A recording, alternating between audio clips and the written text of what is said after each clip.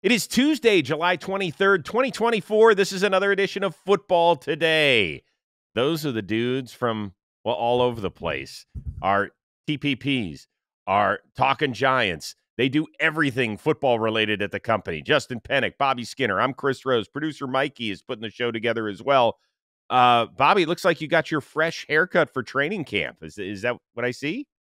Yeah, I wanted to rip the guy to the ground by his gauges because I said to leave a little of the front, and the first thing he does is just buzz right over the front. Um, mm, been there.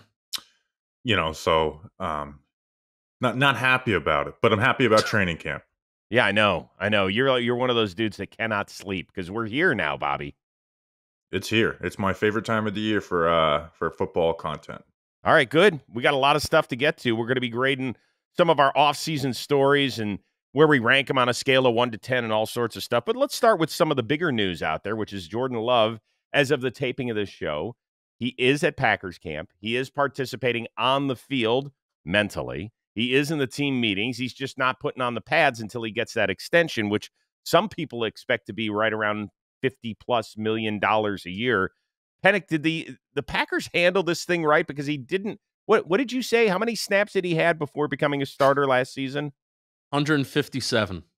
157, and now he's about to make 50 plus million dollars a year. If you're a Packers fan, can you be 100% all in on this move?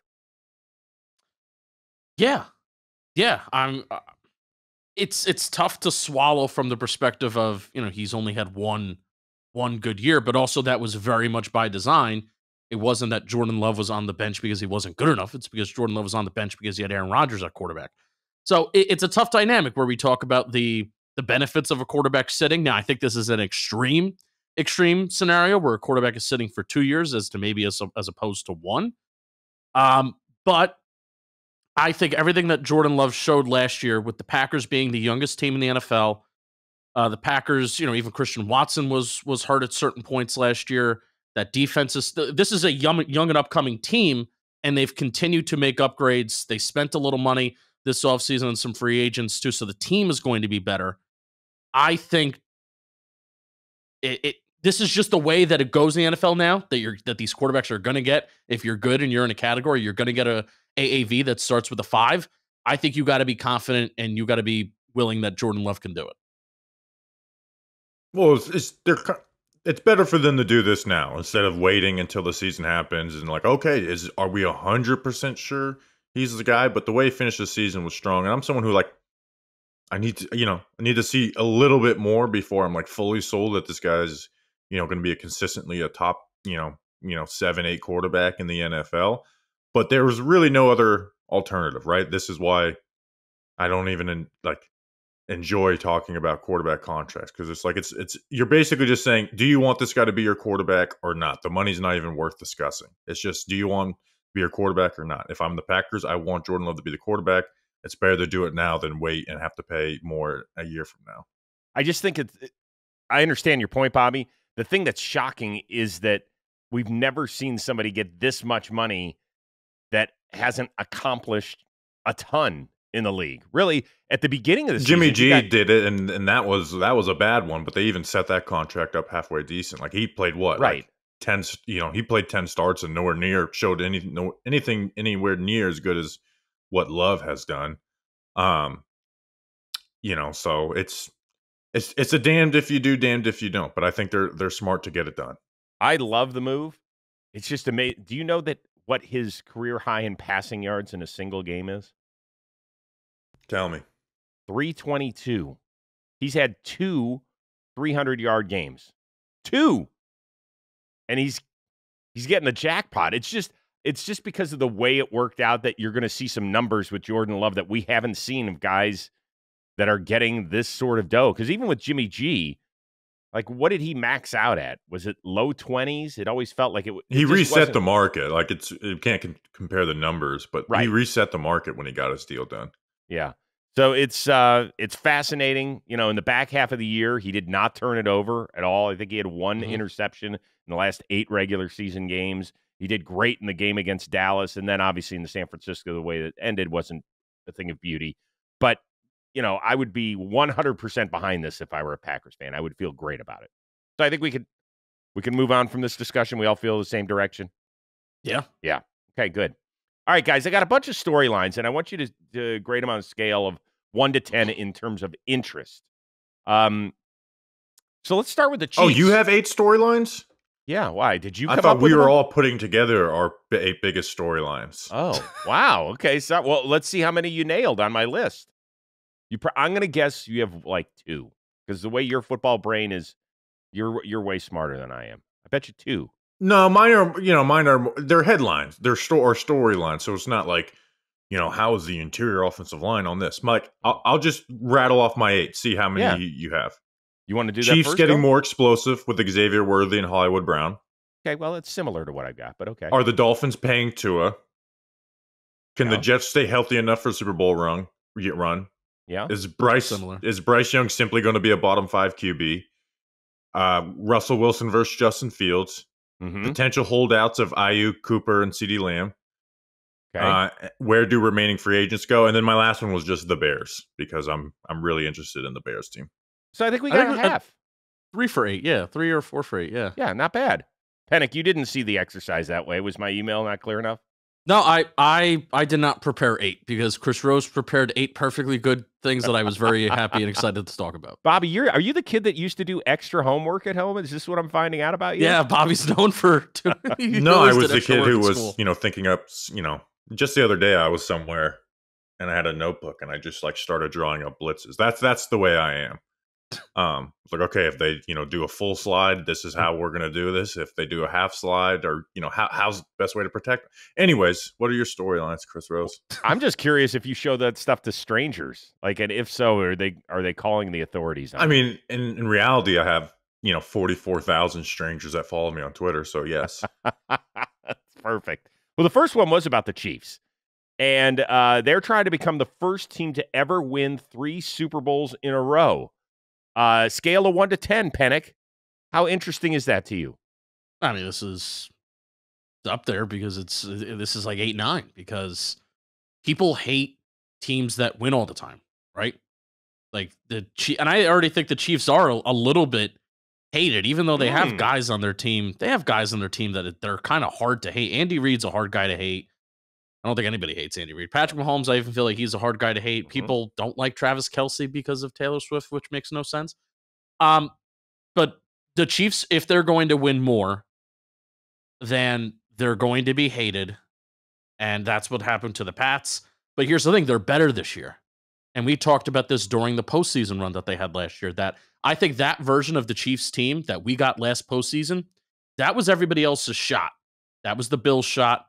That especially was the Ravens shot. And now that those teams have kind of gotten worse and the Chiefs have gotten better in what they're doing, like Bobby said, adding that explosive element, or is Xavier Worthy and Brown, are they going to or are they transforming wide receivers? No. But are they going but could they transform that offense to become more explosive? And we already know how explosive Patrick Mahomes is anyway. Yes. And that is what makes them better this year and that is dangerous. Yeah, I'm I'm so excited to see what they do with those receivers, even if there's some growing pains early on, how they, you know, how they mold that offense because we know they have a quarterback who can, no matter what you throw at him, okay, I'm going to handle this the best. But they, at the end of the day, they want to be a team that's explosive. They adjusted right where last year's 30th in average depth of target, 10% deep throw rate, 23rd the year before, 9% deep throw rate, where he was top 10 in those categories the first couple of his years, and it was like it was backyard ball. And you even saw this was my number one storyline before you even saw the highlight that came out of training camp of Mahomes rolling to his left and finding finding Xavier Worthy.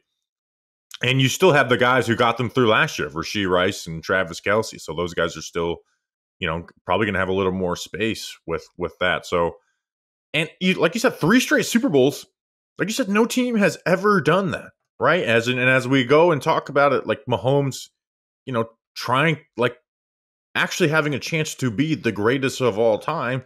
That would be amazing to have three straight Super Bowls this early in his career, and then adding a and you know a fourth total. Well, I think because it opens up the discussion then to the greatest quarterback ever. And some people will say, well, we can't get there because Tom Brady has got seven rings. And but to see what Mahomes has done before the age of 30, there's going to be all sorts of screaming morning shows and podcasts alike that will be taking that narrative and running through, uh, you know, the football fields with it. Um, for me, it's it's it's high on the list, right? It probably starts off right now at the end of July is, you know, a seven eight. But as we see them get better, and they're going to win the division again, barring a Mahomes injury, and then they're going to have some home playoff games. Like last year was the big test. Like we didn't. Patrick Mahomes had never played a road playoff game until he went to Buffalo last year. And he was like better than ever. Right. Well, they, people you know, said they even- weren't Super Bowl contenders after the Raiders game. Yes. Right. And um those people were idiots. I was probably one of them, I'm guessing. So, uh, you know, the, the, he, they passed all of those tests. Now, just as far as a history lesson, very quickly, there are eight teams that have won back-to-back Super Bowls. Okay, uh, the Packers they they won the first two. Uh, Miami did it early on. Pittsburgh twice. I want to focus on the last four because these happened in the last 35 years. The 05 Patriots they went 10 and 6. They lost to Denver in the divisional round. The 99 Broncos, the year after Elway retired, 6 and 10, did not make the playoffs. 94 Cowboys, they probably came the closest, one of the closest. Uh, they lost the NFC title game to San Francisco that year in Steve Young. And then at 1990, the Niners lost the NFC championship game to whom, boys? The New York Football Giants. That's right, the New York Giants. Matt Bahr with a late field goal to send them to the Super Bowl down there in Tampa. Way to go and way to celebrate. Um, and so probably it was the Niners that that was the, I think that was the game where Joe Montana got lit up. Yeah. Yeah, and Leonard Marshall. you know, Leonard Marshall hit him and fumbled the ball, and so uh, teams have come close. They've come to the title games, but they've never been able to push through and make that third straight Super Bowl as a you know consecutive defending champion. Yeah, and it, it's not some like cakewalk or anything, but it is like they've won back to back Super Bowls, and you can make a pretty decent argument that they've gotten like significantly better, especially especially on offense. The defense, we'll see how they are without L'Jarius Sneed, but you expect them Yep. to at least figure, you know, be de- you know, at least be a, above average, and then you have a more explosive QB. Like you know, they had real issues last year on offense, right? Like you talk about Mhm. second half scoring, they were bottom of the league, so. Um, you know, I, I think they're in a really good place to be that first team to do it. I Yeah, think and I'm really interested to see what they do at tackle as well. And that's something that we'll talk about when we get to their TPP. But um, they they had a they have a tackle issue, and then even they had and have because Jawaan Taylor is still on the team, and uh, that's certainly how Mahomes is going to navigate that. If they want to throw the ball downfield more, and if they if Mahomes wants to hold on to the ball more, that dynamic is going to be really interesting to him. they do have a huge advantage from this standpoint. It reminds me a little bit of the Patriots during their run where they never got a great push from anybody else in their division. They got one team that does have a quarterback in the Chargers and a superior head coach in Jim Harbaugh, but they still are lacking some things. And then they've got two teams in their division that they don't know what they're doing at quarterback right now. So I think that that's a huge advantage for the Chiefs, certainly. Um, next one, Aaron Rodgers. And you had this, Bobby, kind of on your list. Coming back from an Achilles injury and trying to end the Jets playoff drought, which happens to be the longest in the NFL going right now. What is your interest level on that scale of one to 10? Uh, I'll say, I'll say eight because again, it's it's very hard to be a Super Bowl winning team, but they should be Super Bowl contenders on paper. But again, that offensive side of the football, you have a lot of guys with injury. You know, or Aaron Rodgers coming off a torn Achilles, Alijah Vera uh, Tucker, you know, torn Achilles, torn tricep the year before. Tyron Smith, thirty six of the last sixty seven games out, hasn't played thirteen over thirteen games since twenty fifteen. Breece Hall, uh, he tore his ACL two years ago. Mike Williams coming off a torn ACL. You just, it's like it's right there for the Jets, but they just have to stay semi healthy, right? You need three of those five guys to to be playing when it matters the most. And you're probably hoping Mike Williams. If there's one guy that gets injured, it's probably Mike Williams. This is a 10 for me because this is a 12 or 13 win football team. Mm. Should be. Should be. I, am you know, I'm, uh, uh, the injuries, yeah. I, I think everybody knows that. We all we all recognize that. This is a 12 13 win football team. Um, they have the NFL. Yeah, the NFL doesn't do you favors on who you play because that's decided, but they did him favors. Everything is set up. Everything is set up for the Jets to have an immaculate, immaculate year because really the roster is that good.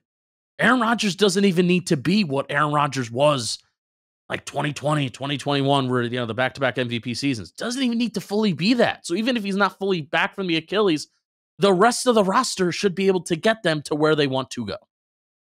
Man. Um I think this is the first time that some of those guys are going to be playing with a ton of pressure.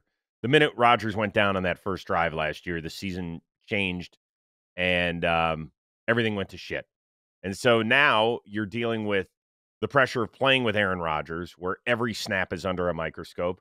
You're already playing with the pressure of being in New York and a team that's got the longest playoff drought going, where we're talking about 15 seasons almost.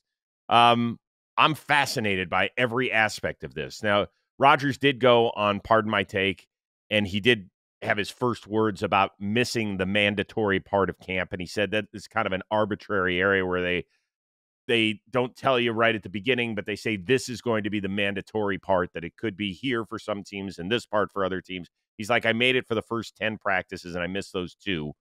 It'll be interesting when he gets in front of a full room of New York media and gets pressed on that. They're not going to press him. They're soft.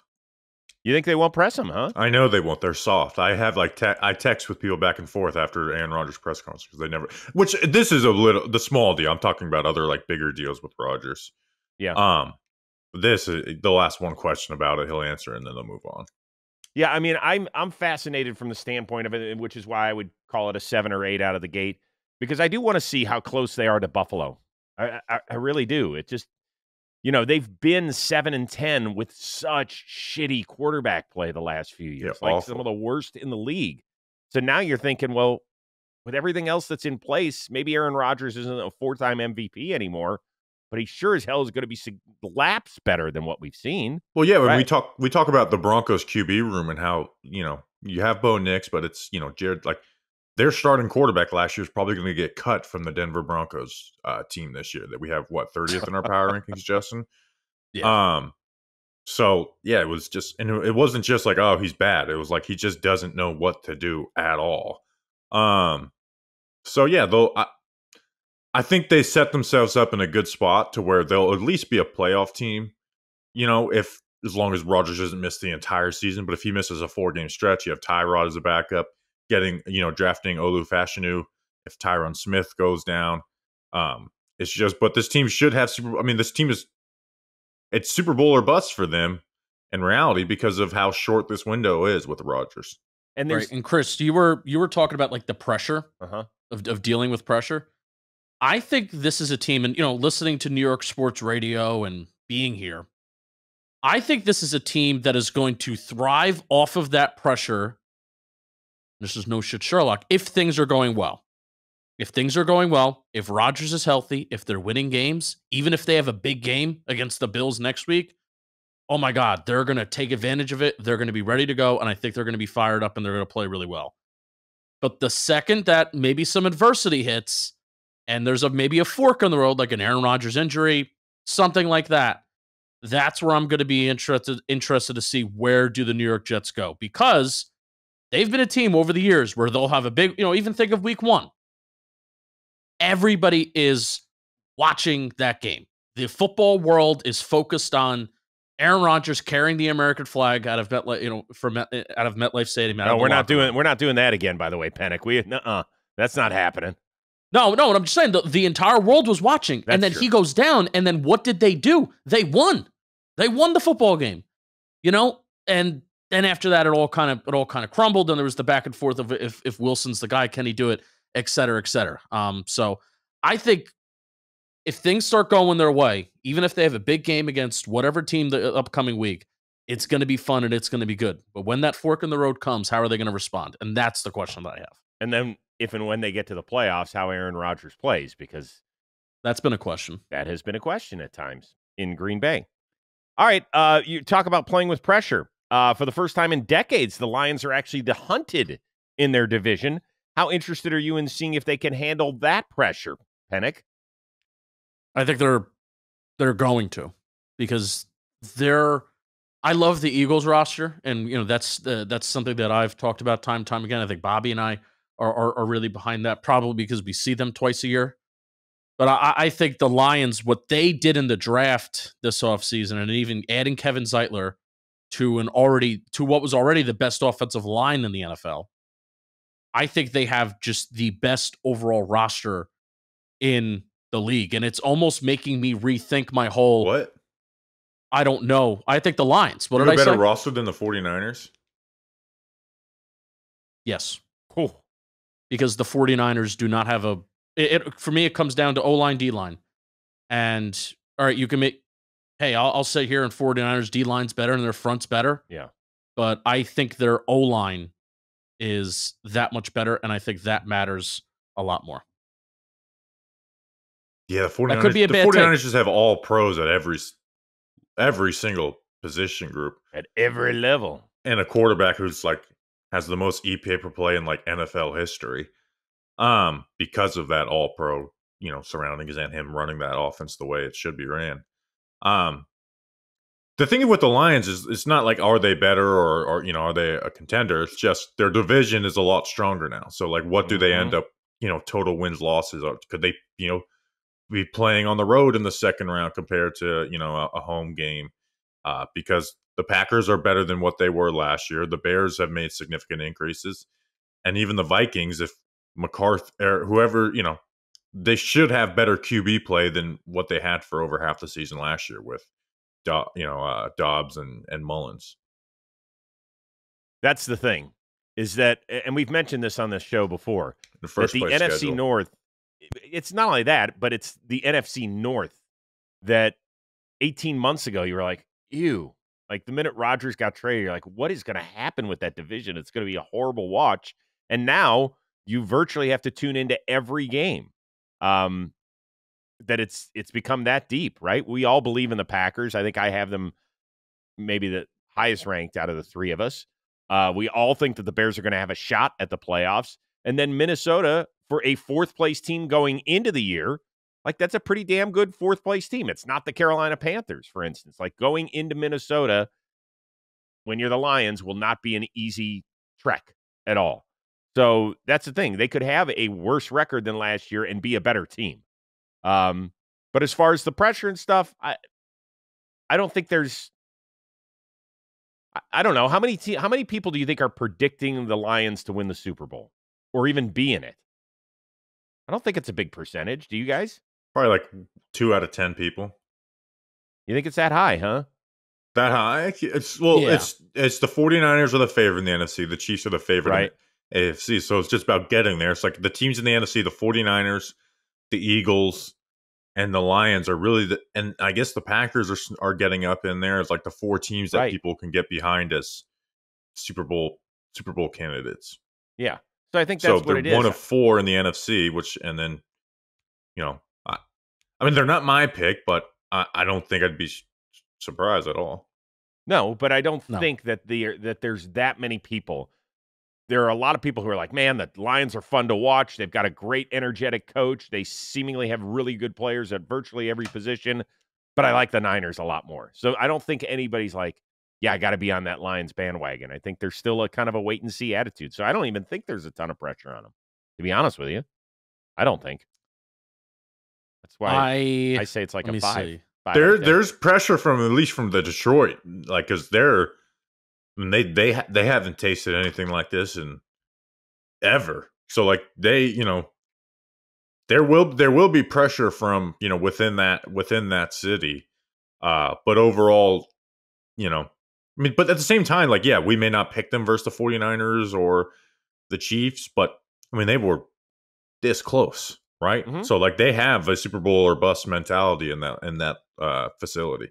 Yeah, but I, I do. think- I, I do think that there's a ton of pressure that comes from every local media group on Yeah. every football team. True, but they're no Just- longer they're no longer the darling. You know, and now they're the team that it's it's how sports work. Mhm. Um, you know, your first year up, we love you, we're excited for you. You don't live up quite to expectations in year two, and now we're you know you're frauds and all that shit. um, you know, so it's it'll be interesting to see how they deal with it, but they'll.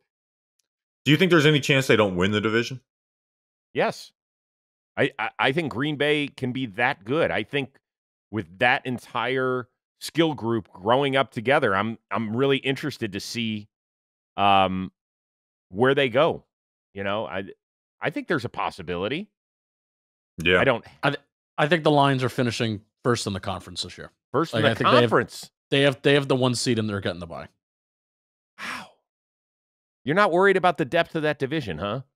No, well, uh, yes, it- it's it's a good division, and you know, especially I think whoever has the best record in the against their division, you know, th- that'll be one of the main deciders how close like the standings are.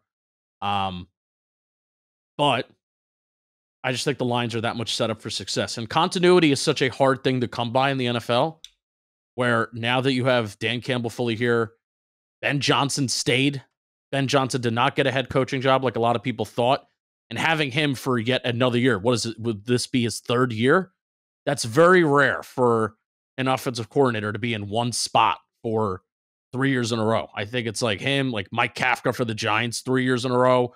It's rare to have these the same play caller year in and year out, and he's very good at it. okay. Interesting. All right, we're taking a break from football today, and we got to talk about DraftKings. And here we go. I'm going to paint you a situation. Bottom of the ninth, two outs. The bases are loaded, and you're down by three, and the crowd is on their feet. And the drama of baseball is real, and so is all the action with our partners over at the DraftKings Sportsbook. And right now, all new customers, if you just bet $5 on anything in the app, you will get $150 in bonus bets instantly. And also on this very channel, JM Football, if you tune in today, we have a live stream on July 23rd from 4 to 6 p.m. Uh, I will be in it. My friend Jolly Olive will be in it. Shelfie will be in it. Joe's McFly will be in it. And Jake Storielli will be in it. We're doing a best ball draft. That's daily fantasy sports for you. Uh, best ball draft, NFL fantasy football draft. I bet you it's going to be the first fantasy football draft that you're going to see go down. So 4 p.m. to 6 p.m. today on the JM Football channel. So download the DraftKings Sportsbook app with us right now. New customers use promo code football today. That's all one word. Bet just five dollars on any wager and get $150 back in bonus bets instantly. That's promo code football today only at the DraftKings Sportsbook, and you'll be glad you did. Uh, let's move on to this one. Lamar Jackson, Josh Allen, always ranked as two of the top four or five quarterbacks in a you know in a given year. Um, but neither has gotten to a Super Bowl. How interested are you in seeing how the narrative on them shifts if they do not get to football's holy grail yet again, Bobby? Um, with Allen, I I don't care because he's been so amazing in the playoffs, right?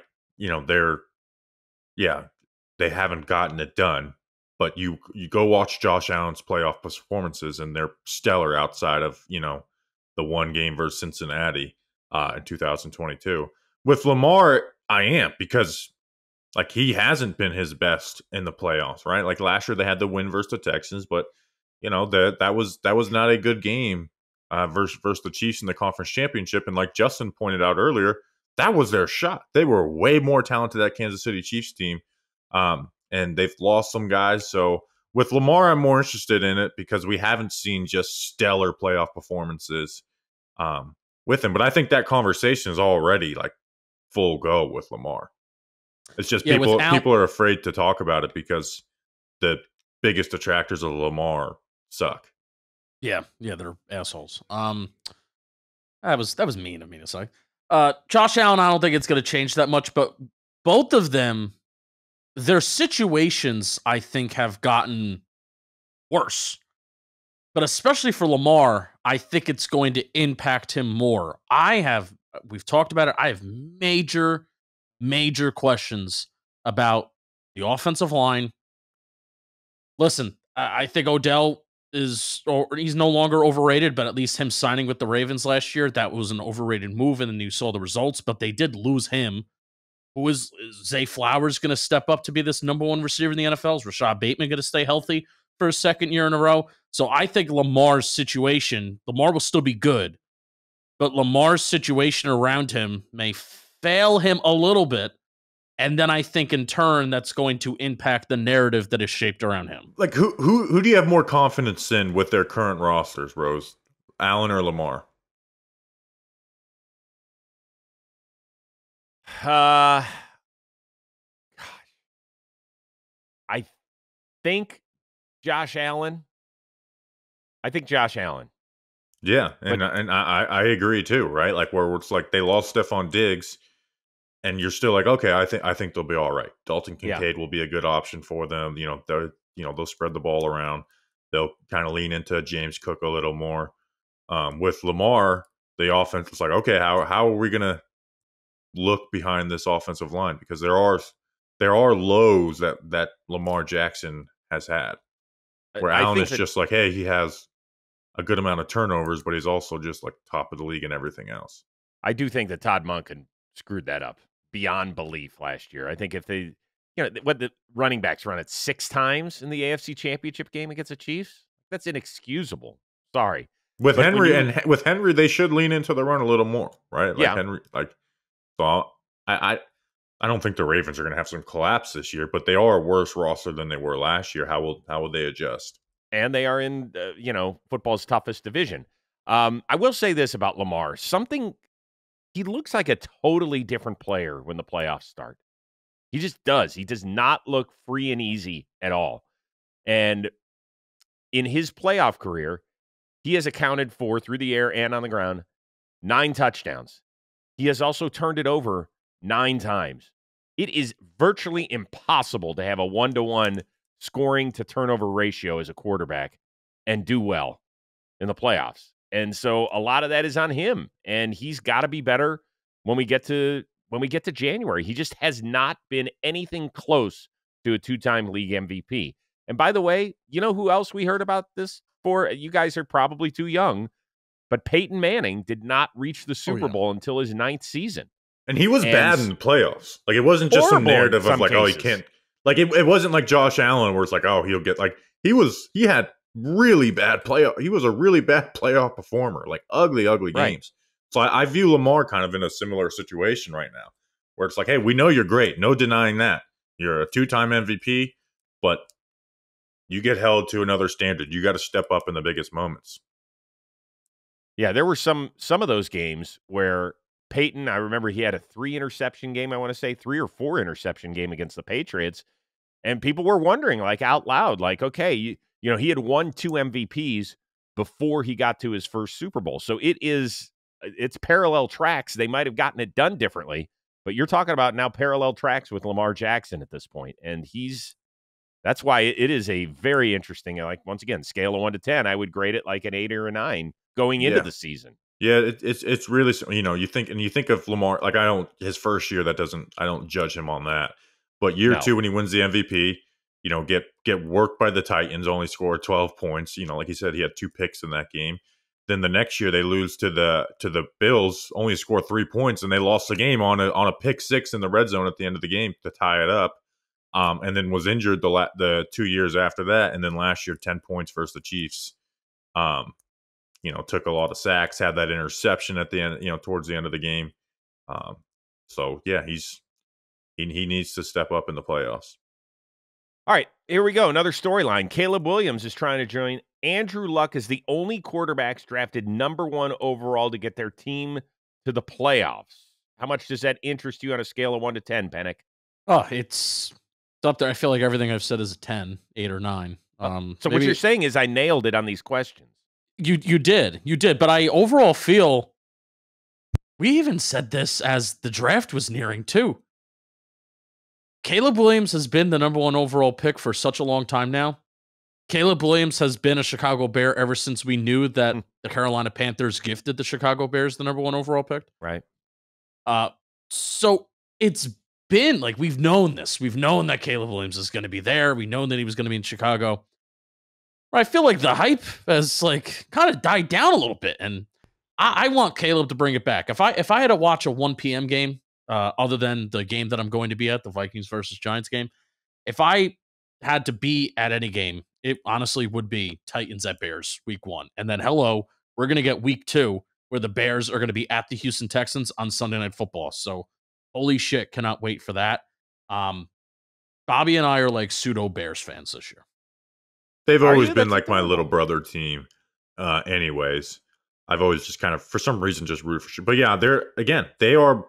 You asked me on a week to week basis what team would I like to watch? is going to be the Chicago Bears because of you know because of Caleb Williams, because of the talent they have on offense, because of the you know the the stars on defense they have like Jaylon Johnson and then young guys rising like Tyrique Stevenson.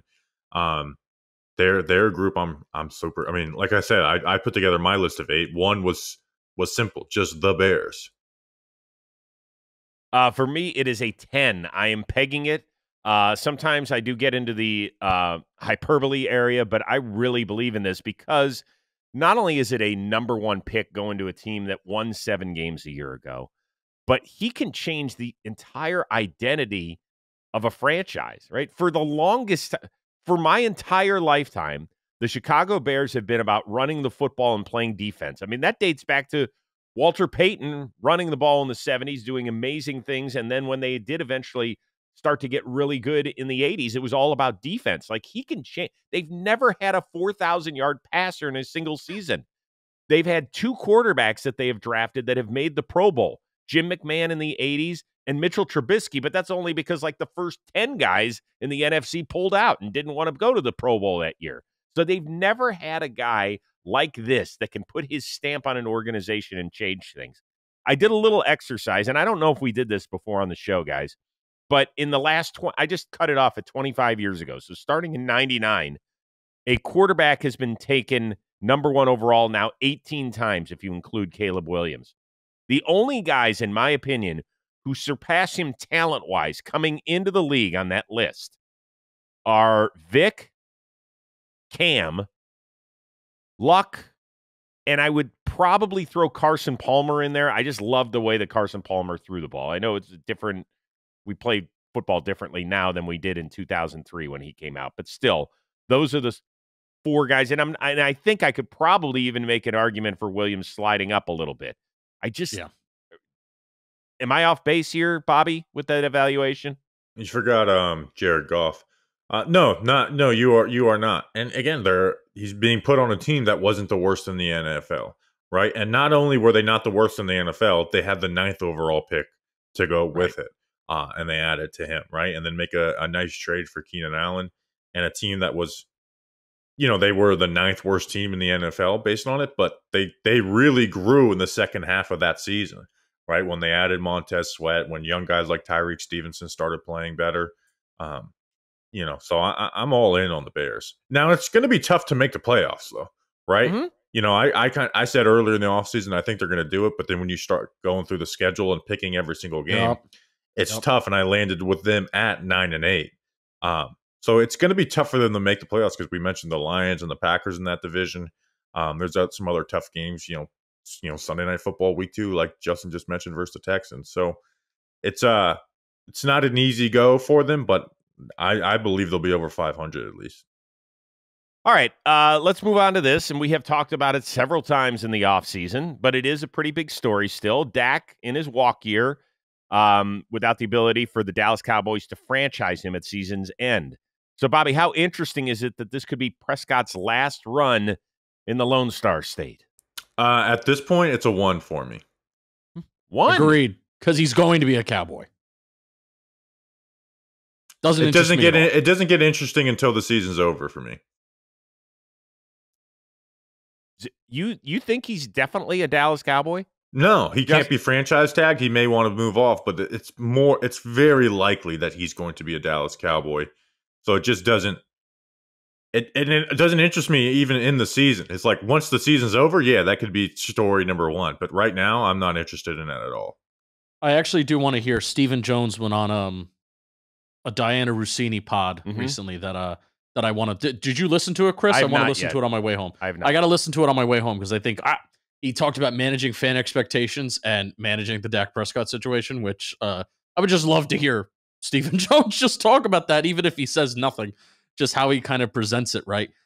I, I think he's going to be a cowboy. Uh, like they're not going to pay him like a record number in in dead cap. Like they're not going to do what, what the Broncos just did to Russell Wilson. They're not going to do that and pay him all that money to not be on the football team. Two, two totally different situations for the Broncos and the Cowboys, and Dak's just like better, better. But he has so much leverage, though. So much leverage. So this will be the first time in probably four years where I do not go to Cowboys camp unless I just drive out there on my own. It's just the schedule didn't work out that way. And this is the one year I really wanted to be there because I was curious to see what all the local media felt about this story because I do think that nationally, I think a lot of people see it, Pennick, the way that you do. Like it's not a story once we start playing football until what if he has the same exact year that he had last year and finishes runner up in the MVP again? And then all of a sudden, then what sort of number are we looking at? Because there's going to be some team that would be interested in his services next year. I mean, for God's sakes, Kirk Cousins, who's what is he, five or five years older than Yeah. Dak, just got a hundred and some million guaranteed. So what's Dak going to get? A number that nears six or even 60. I I think mid.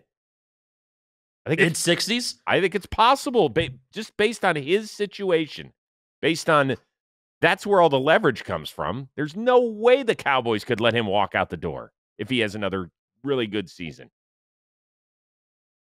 Yeah, and that's why the fran- no franchise tag is in his favor, and I think that's why there's not a deal done is because he can't be franchise tagged. So you guys both have it as a one.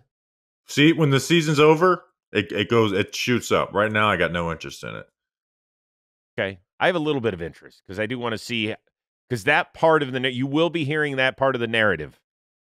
Um, I mean, you're going to hear so much about. But what are they going to do? remember- Choke in the playoffs again because of it? They already do that every year. Oh boy, I'm going to say it's at least a five. I'll put it on that. Yeah. By the way, just curious, where do you have Dak ranked all time among Cowboys quarterbacks that you have either have decent knowledge about? You guys never saw Roger Staubach play. I, I caught him in the back end of his career. Troy Aikman, Tony Romo. That's probably the list of. Yeah, Is he better than Romo? I loved that's tough. I loved hating They're I so loved similar. hating watching Romo play. They're really so similar. And also Dak Prescott has had the benefit now of not having Jason Garrett, where Romo had the unfortunate experience of having Jason Garrett for his, the entirety of his career. Better be careful. You know, he went to my high school. Sorry. When's the Known reunion? Jason. I've known. we just had it in Just wanna May. I couldn't make it. Yeah, we're gonna we're gonna show up. We have something to say. Just want to talk to him. Uh, anyone? Anyone have I'm thinking. I'm thinking. This is bad radio. is is he is he better or worse than Romo? Better. Romo had a lot. You know, we talk about playoff, you know, lack of playoff success for Dak, but there was a lot of lack of regular season success towards the end of the year for Romo with some really bad. I mean, it seemed like every single year the the Cowboys season ended at eight and eight with Dak throwing an intercept or Romo throwing an interception on Sunday Night Football. I think Romo might be. I'm gonna say Romo. I think Romo was actually better in some of the bigger moments, even though he did have a lot of choke worthy moments too. This is probably for a different show, but I don't know why the the Romo hate was so much out there. Guy was freaking undrafted out of Eastern Illinois, and he ended up having a great career. Oh yeah, yeah. But at the same time, you know, from 2010 to 13, which is right in the middle of his career, they went one and five. He got injured in those games. Eight and eight, eight and eight, eight and seven. And then the that one great year in 2014, um, you know, years where he led the league in interceptions. It just, it, I mean, he's re- you know, we're talking about two really good players. It's just when your seasons end like that, that leaves a bad taste in your mouth. That's very similar to Dak right now, where it's like Dak is an awesome Yeah. quarterback, but the playoffs, like at some point, we have to start. We, the conversation needs to be about his playoff performances. Okay, let's move on. We've got eight new head coaches, uh, none bigger than the return of Jim Harbaugh to the NFL. Interest level on how much of a difference he will make year one with the Los Angeles Chargers, Pennick. I am extremely interested, and I'll, and I'll put it out of seven. That's a number that nobody has said yet. There you go. Ha. Danica, Danica Patrick in the Nationwide Series. Um, I'll put it there because just from a football standpoint, and like I'm a big analytics guy too, I just want to see if Jim Harbaugh coming back to the NFL and Greg Roman and what we were doing 10 years ago. And we do know like the running game is making a resurgence in the NFL as teams are playing more two high and as defenses are playing way more. I'm going to keep everything in front of me so we don't allow the big explosive play. So the r- running game is making a renaissance in the NFL, but is it going to make a Jim Harbaugh renaissance in the NFL? And with such a talented passer of just like Justin Herbert, are you going to take the ball out of his hands so much to the point that is a that it is a detriment to the offense, Mm. um, than as opposed to a pro? You know, because you you know, hey, Colin Kaepernick and Alex Smith, no no offense, no Justin Herbert. I want I am a person who wants the ball in his hands as much as possible. How will that dynamic work? Um, and how will they want to attack with having a guy like Justin Herbert? Will it be as run heavy as it was 10 years ago? Bobby, you're all in on Jim Harbaugh. Yeah, this this interest level to me is a five because I already know he's going to turn it around. Oh. They're winning double digit games this year. There's not a, like I don't have any Wow. doubt in my mind. You're you think they're going to win double digit games because Ab- of him? Absolutely, Why are you it- so confident? because he's done it every single time, and now he has a great quarterback every single time. The six did we think the six and 10 49ers would be in the NFC Championship game? They were. We you know every, every single place he goes, he turns it around immediately. They're going to have a top five rushing offense. Greg Roman's never been worse than fourth in rushing in the NFL. Um, they have that quarterback. They're they're gonna they're gonna be a double digit win team this year. There's not a doubt in my mind. So I'm not I'm I'm interested, but it's not it's not even intriguing for me because I know it's going to happen. he can be maddening at times, but I do find him very, very interesting. Like if he were to make an entire list of the most interesting people in the NFL this year, I think he's pretty high on that list. Now, with the Chargers, last year they played seven games where which were decided by three points or less. Anybody want to guess their record in those seven games? Uh, two and five because I know they beat the Vikings on one of those games. I think. I'm gonna go one and six. I believe they were 0 and 7, but probably my math is off now. Um, at any rate, they lost seven games where they by three points or less. A lot of that can come down to coaching, little things. I did reach out to somebody in the Chargers organization and I said, So what's the deal? Well, like, what's the vibe around here? Are people kind of walking on eggshells? Is this a Nick Saban sort of deal with the Dolphins? He's like, No, everybody's bought in. The veterans have bought in. And so the minute you hear that the veterans are in, now granted, it's the end of July. We haven't had any sort of issues so far. We haven't even put on pads. But um, to hear that the veterans are in, that's a big step. And why not? Jesus, I mean, look at the shit show it's been with their head coaching situations over the last few years. I mean, it looked like those were the first time that Brandon Staley had ever been in a fourth down situation before. He's like, huh, coin flip. What do we do? So There's not a there's not a single team in the NFL where their 2023 or even before that matters less than the Los Angeles Chargers because there's just a new energy. There's a new GM in there. They had a really good draft. I mean, uh, you know, we we were doing you know, but we did our their TPP, and you know, one of the things that we said there is it just doesn't matter. Throw away Like, you know, usually 2023. Throw it away. usually we'll talk about their stats and how that year went and overall what happened. It literally does not matter because everything is so new. And that roster, I think, as really next year is really going to turn over even more than what it was this past year. Yeah, I think that's fair. I think that's totally fair. Uh, last one that I've got on my list. Your interest level, Bobby, in Tom Brady calling games on Fox. I'll say four because I'm really excited for it, but at the end of the day, the announcers just don't make that much of a difference for me. But I think he's going to be great at it. Do you think he is? Yeah, I'm pretty confident. Why wouldn't you know? Why wouldn't he? You know, they all you know we talked you know we talked about like some of his uh radio spots that he's done talking about you know quarterbacks today and stuff. Uh, you know, ho- hopefully he just doesn't fall into the like oh everything's okay. This isn't as bad as people are. You know, doesn't. Hopefully he's not afraid of of harsh criticism because I, that's the part I'm excited for, and I think that's part we that we lose in today's broadcasting with the social media age of no one wanting to read tweets, mean tweets about them. I'll put it at an 8.5 because of David Tyree's helmet catch. Um, I think he's going to be great. Like uh, here, I was a little like, oh, I really liked Greg Olsen, and Bobby's going to roll his eyes because like "Uh, Tom Brady over. Like I get it. You want to? Greg Olsen just Brady. repeated Twitter football Twitter talking points. But guess what? I like that. And I yeah, that's why media that. loves it. You didn't like you don't like Greg Olsen? No, I do. I just think the fawning over him was a little much. It, it was because it's we do this with everyone who like says things that football Twitter talks about a lot, and so it's like he's just like me. Like I remember Brandon Staley. Brandon Staley was football Twitter's darling his first year in Los Angeles because he's like, well, we go for the fourth down because of the analytics, and we need a physicality in the run defense. That's why we, you know, we we play the run. Like it was, he just repeated football Twitter talking points, and everyone crowned him the greatest of all time.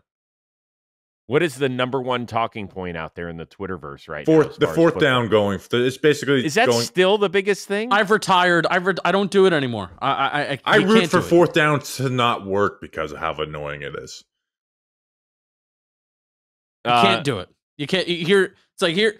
Here's like probability. What are all these models that people develop? And it's like this is why it makes sense to to do it, to go for it, to be aggressive. You can even explain it with logic and reason. Of like, hey, you know, why is it more beneficial to force an offense to go 95 yards drive down the field as opposed to kicking a field goal and then you're giving them 25 yards? Like you have to force them to go the extra 20, and you know, no, you can't. It's no arguing anymore. I'm done. So if Tom Brady starts talking about the analytics that are on the screen, is that going to make you uh, more joyful, or are you going to want to puke? No, but here's the thing. I uh, I want to hear what Tom Brady has to say. Like if Tom Brady, if, you know, the greatest quarterback of all time, it, and how he processes and how he thinks about the game, if he's saying that, oh, I, th- th- like, oh, this is something that makes sense. This is something that I like, or oh, even this is something that I never looked at, but it makes sense and it's in line with my process. I want to hear Tom Brady's process. It's like I almost don't. I almost don't almost don't even want to hear Tom Brady call the game. I just want to hear him react to the game, and Uh-huh. then is it in line with what he does? Well, but that's the that's the big deal is that some people cannot stand when it's the back in my day philosophy, but because we just didn't get a ton of that from Tom Brady throughout his career because he had to keep his mouth shut uh, in New England all those years, it felt it did feel like a totally different Tom Brady when he got to Tampa in terms of the way that he could talk about things. So Yeah, and we're two years removed from. He's obviously very updated on on the game. Um, and maybe ten years from now, yeah, it's like, all right, dude, we we just don't play quarterback that way anymore. But early on, I think it should be really good. By the way, I'm also like, I'm mostly in the go for it on fourth down conversation. Hmm. I just don't act like it's this no brainer decision and human emotion and you know, you know, like I think that stuff actually matters, and you can't simply just say go for it every damn time. Uh, but it's just it's very funny seeing people melt down about that every time. Well, the thing I hate about it is that you're a moron if you have a contrarian view or just the opposite view. It doesn't even have to be contrarian, just just the opposite view. But that's where we are in the world. Like Yeah. if there's disagreement, then obviously you're an idiot because you're not smart enough to think about it this way. Like fucking it's football at the end of the day. We're talking about going for it on fourth and 3 from the 46. Don't call me a fucking moron because I'm trying to do something that I think is best for my team. Like, Jesus, enough with that shit. Although I would like to hear Tom Brady come out and say, I think you're a fucking moron if you don't go for it.